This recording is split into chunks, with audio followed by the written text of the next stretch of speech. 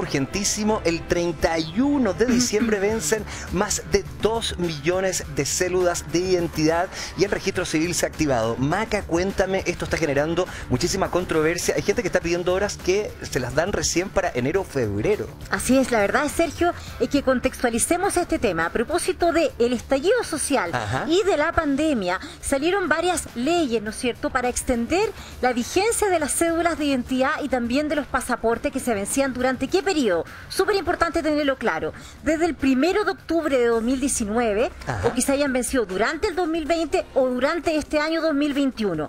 Y la prórroga vence ya prontamente, el próximo mes, el 31 de diciembre de 2021, vence para los chilenos y para los extranjeros, ojo también con eso, que pues. ya son bastantes de nuestro país, que también tienen que renovar cédula de identidad, vence el, 20, el 28 de febrero, tiene 28 días de febrero, el 28 de febrero del 2022. Así que hay que estar muy atento y hay varias cosas que se han hecho para implementar la posibilidad de que esta renovación sea lo más expedita posible. ¿Dónde entonces? ¿Dónde, cómo y cuándo podemos agendar esta hora para el registro civil?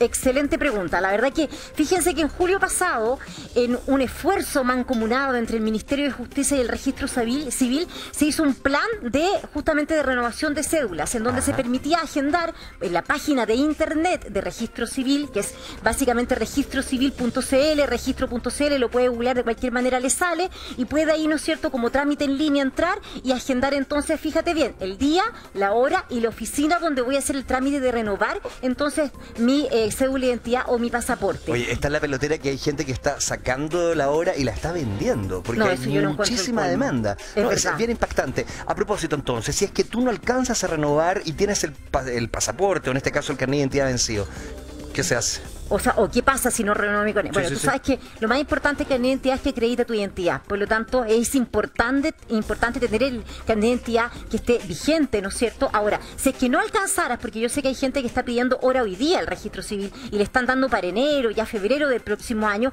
es importante señalar que ojalá siempre ande con su cédula, aunque sea vencida, y con el registro de que tiene una hora pendiente del registro civil para poder renovar su cédula. Pero esto se vence ahora, se vence el 31 de diciembre y no hay más tema clave. Estamos eh, próximos a una nueva elección presidencial. ¿Qué pasa si tengo el carnet de identidad vencido? Esta pregunta es clave porque la verdad harta gente se la hace. El CERVEL y el Registro Civil han dicho que la cédula de identidad que está vencida, recordemos del primero de octubre en adelante que, y que pueda vencer de aquí hasta el momento de la elección, puede esa persona ir a votar igualmente con esa cédula vencida. Así que recordemos que esto está vigente hasta el 31 de diciembre y esta elección es el 21 de noviembre y la segunda vuelta obviamente va a ser en diciembre, por lo tanto va a ser antes del 31 31 de diciembre, razón por la cual también va a poder ir a votar.